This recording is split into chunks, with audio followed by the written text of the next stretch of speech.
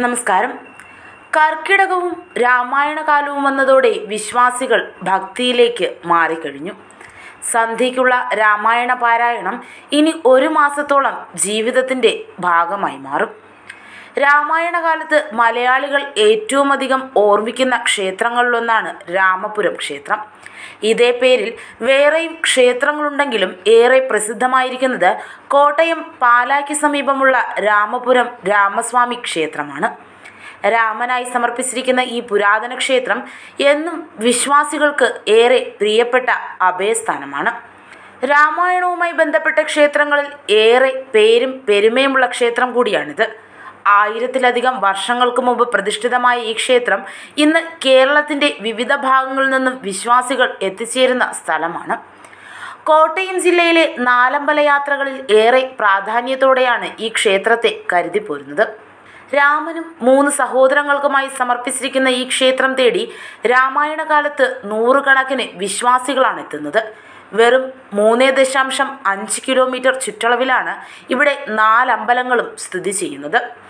ശ്രീരാമക്ഷേത്രത്തിൽ രാമപുരം അമനകര ഭരതക്ഷേത്രം കൂടപ്പുലം ലക്ഷ്മണക്ഷേത്രം മേഗിരി ശത്രുഘ്ന ക്ഷേത്രം എന്നിവയാണവ.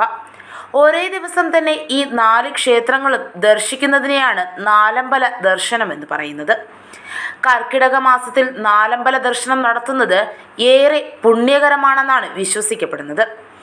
രാവണൻ തട്ടിക്കൊണ്ടുപോയ സീതാദേവിയെ തിരഞ്ഞുള്ള യാത്രയിൽ രാവണൻ ഇവിടെ എത്തിയെന്നാണ് വിശ്വാസം. ലങ്കയിലേക്കുള്ള തിരച്ചിൽ തുടരുന്നതിന് മുമ്പായി കുറേ നേരം രാമൻ ഇവിടെ വിശ്രമിച്ചുവെന്നാണ് പറയപ്പെടുന്നത്. അദ്ദേഹം വിശ്രമിച്ച ഇടമാണ് രാമപുരം എന്നറിയപ്പെടുന്നത്. അദ്ദേഹം വിശ്രമിച്ച അതേ സ്ഥലത്താണ് ഇന്നത്തെ ഈ ക്ഷേത്രവും സ്ഥിതി ചെയ്യുന്നത്. ശ്രീരാമന്റെ വിഗ്രഹത്തിന്റെ വലതുഭാഗത്ത് ശിവപാർവതിയുടെ വിഗ്രഹവുമുണ്ട്. ഇതിനടുത്താണ് ശ്രീ ധർമ്മശാസ്താവിന്റെ വിഗ്രഹം. ഭദ്രകാളി ലക്ഷ്മി ഭഗവതി മഹാഗണപതി ഹനുമാൻ നാഗരാജൻ ക്ഷേത്രത്തിൽ ആരാധിക്കുന്ന മറ്റ് ഉപദേവതകളാണ്. കാളി ക്ഷേത്രത്തിന്റെ തെക്കു ഭാഗത്ത് നാഗന്മാരുടെ വിഗ്രഹങ്ങളുണ്ട്. അവിടെ ആയില്യം ഭക്തർ പാമ്പുകൾക്ക് പാലും മഞ്ഞളും അരിയും അർപ്പിക്കുന്നു. ക്ഷേത്രത്തിന്റെ പടിഞ്ഞാറ് ഭാഗത്ത് ഒരു ചെറിയ ഗണപതി ക്ഷേത്രവുമുണ്ട്. അത് വളരെ ശക്തമാണെന്നാണ് വിശ്വസിക്കപ്പെടുന്നത്. രാമപുരത്തെ ശ്രീരാമക്ഷേത്രം രാവിലെ അഞ്ചു മണി മുതൽ പത്ത് മണി വരെയും വൈകുന്നേരം അഞ്ചു മുതൽ രാത്രി എട്ട് വരെയുമാണ് തുറക്കുന്നത്. കർക്കിടക മാസത്തിൽ ക്ഷേത്ര ദർശന സമയം രാവിലെ അഞ്ചു മുതൽ ഉച്ചയ്ക്ക് പന്ത്രണ്ട് വരെയും വൈകുന്നേരം അഞ്ചു മുതൽ രാത്രി ഏഴ് മുപ്പത് വരെയുമാണ്. വെബ് ഡെസ്ക് തത്തുമീ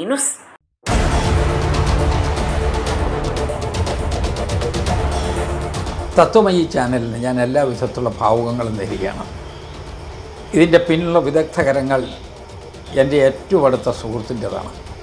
എനിക്ക് അദ്ദേഹത്തെക്കുറിച്ച് വലിയ മതിപ്പാണ്. ജേർണലിസം രംഗത്ത് ശ്രീ രാജേഷ് പിള്ള റെക്കോർഡുകൾ ഉണ്ടാക്കിയിട്ടുള്ള വ്യക്തിയാണ് എന്നെനിക്കറിയാം. കേരളത്തിൽ ഏക ഏറെ ശ്രദ്ധിക്കപ്പെടുന്ന നിരവധി റിപ്പോർട്ടിങ്ങിൽ അദ്ദേഹം മുൻപന്തിയിലുണ്ടായിരുന്നു. അദ്ദേഹത്തിന്റെ എല്ലാ ടാലന്റും ഇതിനകത്തുണ്ടാകും എന്ന് ഞാൻ പ്രതീക്ഷിക്കുന്നു.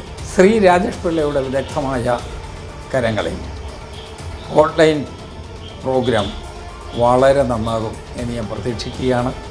ഞാൻ എല്ലാ ഭാവുകങ്ങളും നേരുകയാണ്